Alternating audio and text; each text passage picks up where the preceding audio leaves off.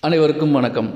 நான் உங்கள் ஜெயமேனுகோபால். இன்றைய பதிவாக நாம் காண இருக்கின்ற தலைப்பு இண்டிவிஜுவல் இம்பார்ட்டன்ஸ் தனிநபர் முக்கியத்துவம். எதற்கு இந்த தனிநபர் முக்கியத்துவத்தை பற்றி பேசுகிறோம் அப்படின்னா ஒவ்வொரு ஜாதகத்திலையுமே இந்த முக்கியத்துவம் தேவைப்படுகிறது. இப்போது ஒருத்தர் பிறந்தாருன்னா அதே மாதிரி இன்னொரு ஜாதகம் இருக்குது அப்படின்னா ரெண்டு பேர்த்துக்கும் ஒரே விதமான பண்புகள் நடக்குமா பலன்கள் நடக்குமா அப்படின்னா அது மாறுபடும். இப்போ ஒரே நேரத்தில் பத்து குழந்தைங்க பிறக்குது.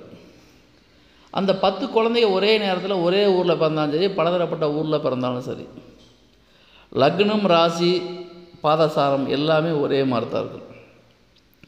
ஆனால் அப்படி பிறந்தாலும் வளரக்கூடிய அனைத்து குழந்தைகளும் ஒரே மாதிரி பண்புகளை பெற்றுள்ளார்களா?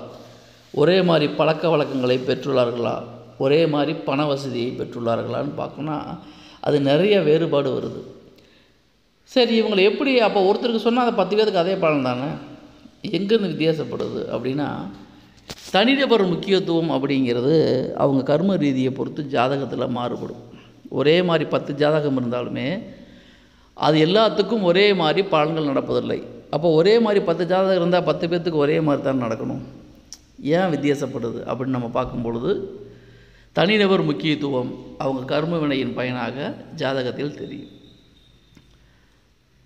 அதை பொறுத்து அவர்கள் ஜாதகத்தில் என்ன பாவங்கள் பாதிக்கப்பட்டுள்ளது என்ன பிரச்சனை வருகிறது அப்படின்னு நம்ம துல்லியமாக கணித்து விடலாம். ஆக பத்து பேர் ஒரே மாதிரி ஒரே நேரத்தில் பிறந்தாலும் தனிநபர் ஜாதகம் முக்கியத்துவம் என்பது கட்டாயம் இருக்கும் அப்படிங்கிற விஷயத்தை நீங்கள் புரிஞ்சு கொள்ளணும் அப்போ ஒரே டேட்டா பர்த்தில் நிறையா பேர் இருந்தாலும் எல்லாத்துக்கும் ஒரே மாதிரி நடக்காததுக்கு காரணம் அவர்கள் கர்ம வினையின் பயனாக ஜாதகத்தில் தனிநபர் வித்தியாசம் அப்படிங்கிறது முக்கியமாக உள்ளது. அதை பொறுத்து பலன்களில் மாற்றமும் ஏமாற்றமும் நிறையா பேர்த்துக்கு நடக்கும்.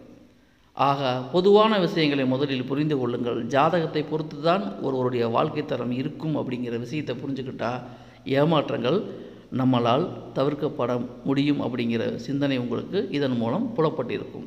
இவை அனைத்தும் பொதுவான விஷயங்களே பொதுவான தகவல்களே. நன்றி நேயர்களை மீண்டும் அடுத்த பதிவில் வேறொரு தலைப்பில் உங்களை சந்திக்கிறேன். நன்றி வணக்கம்.